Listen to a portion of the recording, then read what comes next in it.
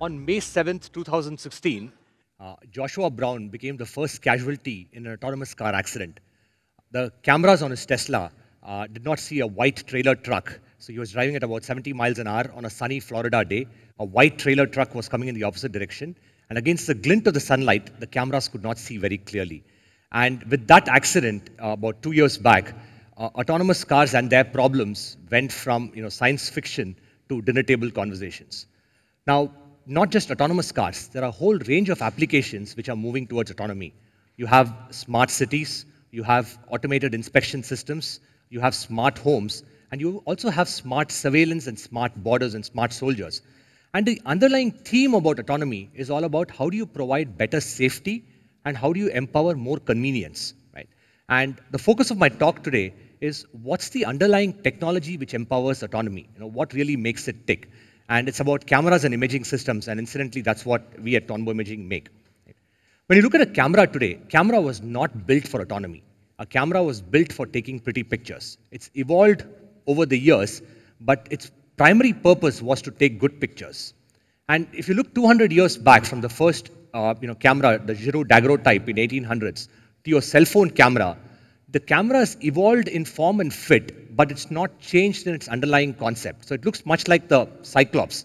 This is a mythical creature which had one eye, and a camera's design is exactly like the Cyclops. Right? Now, but when you look at nature, as humans, we have two eyes. So two eyes give you a sense of depth and allows you to see the world in 3D. But what's more interesting is insects like dragonflies, they have 40,000 eyes. Now, what this crazy compound eye structure does is it allows you to create very efficient imaging systems in a very small form factor. So we took inspiration from the dragonfly and decided to build cameras and imaging systems which had multiple eyes or multiple apertures, right? And as a tribute to this marvelous insect, we decided to call the company Tonbo, which incidentally means dragonfly in Japanese. Now, autonomy, and which is the basis of the talk, uh, requires something beyond sensing. Right? Sensing is one aspect of autonomy. You need to be able to see the environment, you need to be able to understand what's happening around you, and you need to be able to communicate very efficiently. So what we did is we built a camera based on this technology and said, let's build a camera which can see really well.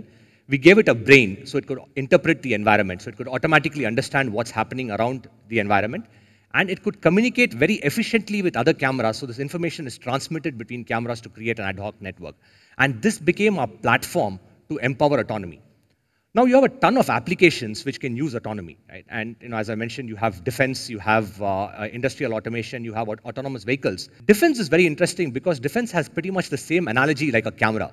Cameras didn't change for 200 years, and defense has not changed for 100 years, right? So the underlying principle about how people built defense companies has been the same.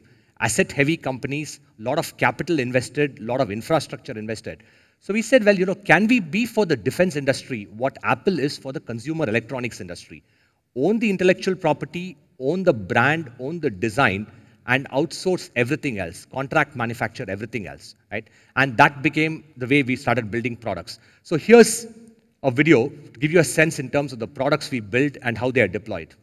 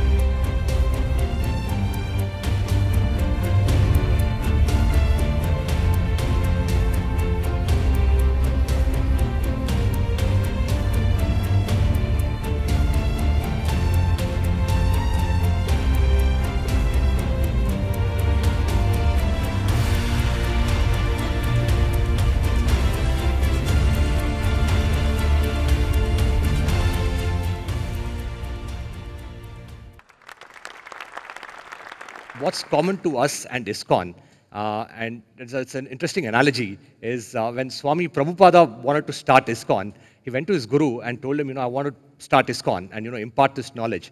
So Swami Prabhupada's advice, I mean, guru told him, why don't you go to the US, educate all of them. Once they accept it, India will accept it, right? And our defense business was pretty much the same. So we are deployed worldwide. We are deployed in about 25 countries. But there were six countries where this was deployed first before it came to India. So all the way from Southeast Asia and Philippines to our latest Peru, where we won a $100 million program to modernize the Peruvian army. And India figured seventh on that list after we had deployed internationally. And, you know, it's kind of, so part of our objective was to build, you know, a defense industry, uh, not build a product or a feature. And we wanted to build a platform which allows other people to build systems over and above it. And we've been very fortunate to have very patient investors. And one of the reasons why we could do this was because we had excellent and very patient investors. Uh, from Mumbai Angels, my friends in 2010 who supported me, to Artiman Capital in 2012, and to Walden, Qualcomm, Edelweiss, and a bunch of Goldman Sachs partners. And that's the reason we've been able to deploy this capital efficiently and build defense systems for around the world.